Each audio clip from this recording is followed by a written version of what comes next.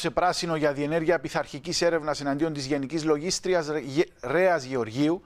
Αναφορικά, κυρίες και κύριοι, με τη γνωστή κατάσχεση εγγυητικής ύψους 54.000 ευρώ από λογαριασμό της Κυπριακής Δημοκρατίας προς όφελος του σφαγίου Σύπρα. Πάμε στη Σοφία Ιωσήφ. Έχει τις λεπτομέρειες του ρεπορτάζ. Θα συνδεθούμε μαζί της. Σοφία, καλησπέρα.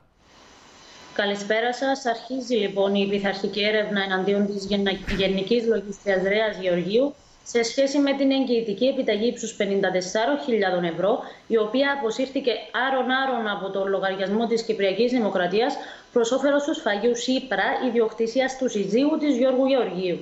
Η απόφαση λήφθηκε στη σημερινή συνεδρίαση του Υπουργικού Συμβουλίου μετά την πρόταση για πειθαρχική έρευνα που ετοίμασε η γραμματέα του Υπουργικού Συμβουλίου στη βάση ενημερωτικού σημειώματος του Υπουργού Οικονομικών και της γνωμάτευσης του Γενικού Εισαγγελέα. Ερευνών λειτουργών σύμφωνα με πληροφορίες του ΣΥΓΜΑ αποφασίστηκε όπως διοριστεί ο Γενικός Διευθυντής του Υπουργείου Άμυνας, Ανδρέας Λουκά.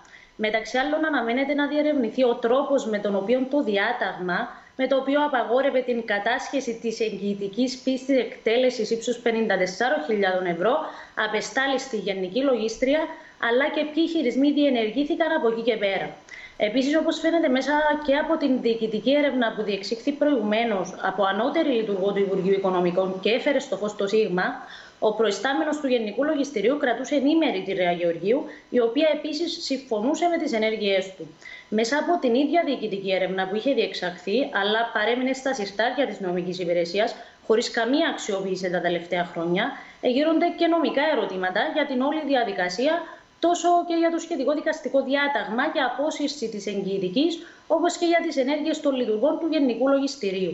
Ερωτήματα που ίσως απαντηθούν μέσα από την πειθαρχική έρευνα. Ναι. Την έρευνα ζήτησε και η ίδια Γενική Λογιστρία κατά τη διάρκεια της Επιτροπής Ελέγχου στις 26 Νοεμβρίου για το θέμα αυτό, ώστε όπως είπε να λάμψει η αλήθεια. Μάλιστα, ευχαριστούμε πολύ. Κυρίες και κύριοι, δείτε σε πολύ λίγο.